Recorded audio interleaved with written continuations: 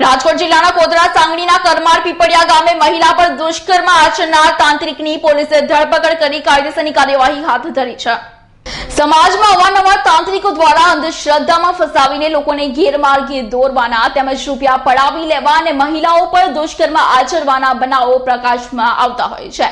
ત્યારે ફરી આવો કિસ્સો રાજકોટ જિલ્લાના કોતડા સાંગણીના કરમાળ પીપળિયામાં સામે આવ્યો હતો. જ્યાં બની બેઠેલા ભુવાએ એક છત્રીસ વર્ષીય મહિલાને મેલું કાઢવાના અને તેમના પંદર વર્ષના માનસિક બીમાર બાળકને સારું કરી દેવાના બહાને કરમાળ પીપળિયા સહિત આરોપી શંભુનાથા ગોહેલે પોતાની વાડીએ હવન કરવાને બહાને બોલાવી મહિલા પર દુષ્કર્મ આચર્યું હોવાની પોલીસ ફરિયાદ. ત્રણ દિવસ પૂર્વે કોતરા પોલીસમાં નોંધાતા આ પંથકમાં ચકચાર મચી જવા પામી હતી અને આરોપી ધર્મના નામે ઢટિંગ આચરી મહિલાને ફસાવી દુષ્કર્મ ગુજારતા. આ વિસ્તારના લોકોમાં ભારે રોષ ભભૂકી ઉઠ્યો હતો. તેથી પોલીસે ભોગ બનનાર મહિલાની ફરિયાદના આધારે આરોપી શંભુનાથા ગોહિલ સામે ગુનો દાખલ કરી આરોપીને ઝડપી પાડવા તપાસ હાથ ધરી હતી. આ દરમિયાન પોલીસે આરોપીને ઝડપી પાડવા ઠેર ઠેર જગ્યાએ રેડ કરી હતી આ દરમિયાન. કોતરાસાંગડી પોલીસે ચોક્કસ બાતમીના આધારે તાંત્રિક આરોપી એવા શંભુ ગોહિલને પોતાની વાડીએથી વોચ ગોઠવી ઝડપી લીધો હતો અને તેમના રિમાન્ડની માંગણી સાથે કોર્ટમાં રજૂ કરવા તજવીજ હાથ ધરાઈ હતી.